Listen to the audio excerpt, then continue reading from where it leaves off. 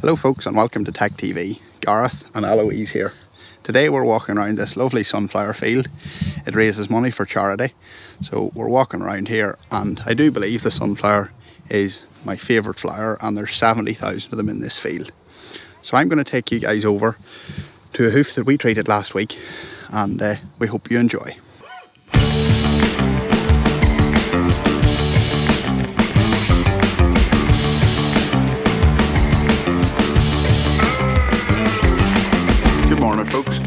Welcome to TEC TV.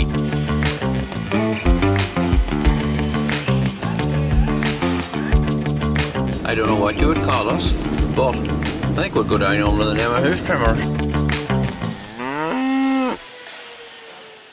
When we got this cow into the crush and assessed her hooves, it was clear that both back feet were a mirror image of each other. This is quite a common thing to see. There was something going on in and around the sole ulcer site, or this black area in the middle of the claw. I start trims like these with the knife because once hoof is off, it's off. And effective hoof trimming is actually about what you leave on sometimes as opposed to what you take off.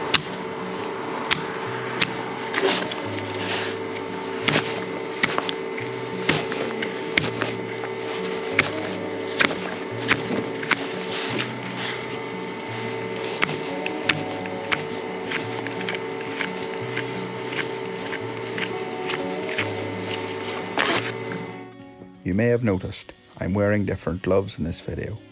I was really happy with the gloves we used to use, but they are no longer available. So we are trialling different kinds. I really hope we can find something as good as the last ones, as I find we go through several sets of gloves each day. I guess as humans, we really don't like change.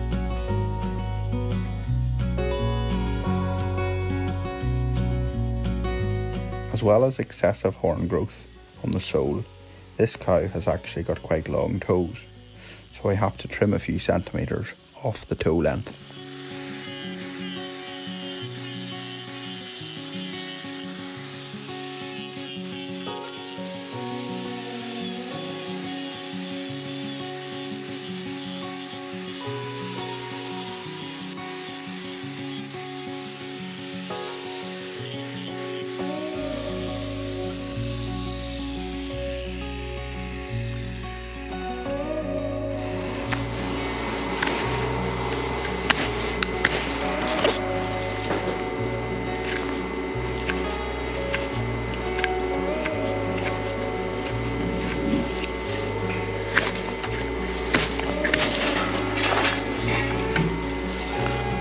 So this cow has a sole ulcer, just the same as she had in the back left foot.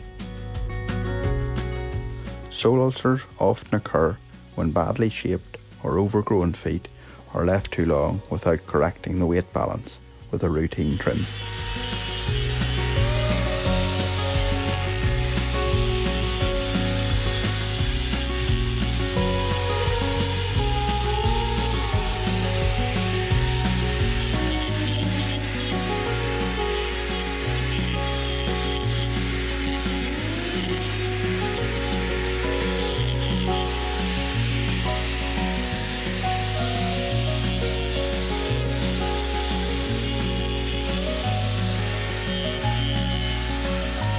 To treat this or any other sole ulcer effectively, we need to remove the horn around it to relieve the pressure from the lesion.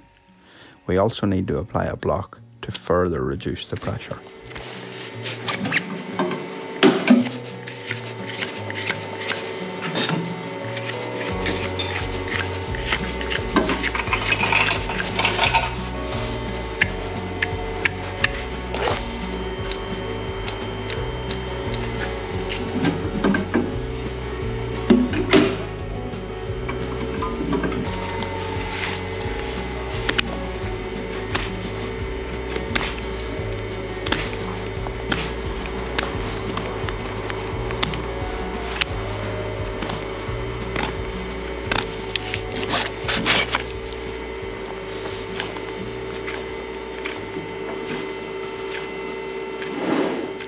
This girl also has an interdigital growth infected with digital dermatitis in between her claws. We can't cut this out as it's live tissue, so we clean it off and wrap it with Intracare gel.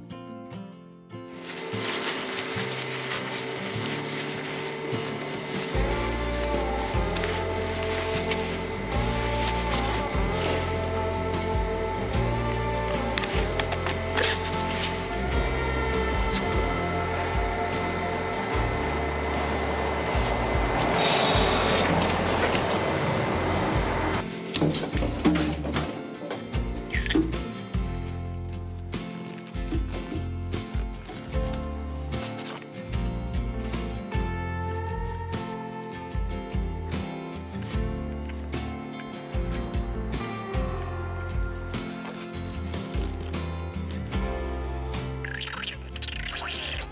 might think that was Tom breaking wind in the background, as he does quite a lot, but in actual fact, this time it was the gel bottle.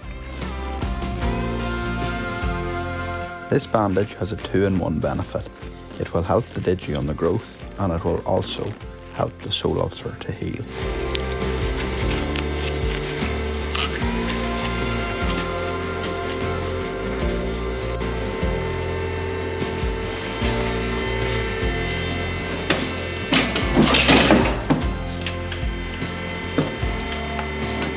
Off she goes, a lot more comfortable than she was 20 minutes ago. Thanks for watching this week's episode of Hoof of the Week. We hope you enjoyed it, and if you haven't already, don't forget to hit the subscribe button and like the video. We will see you all soon.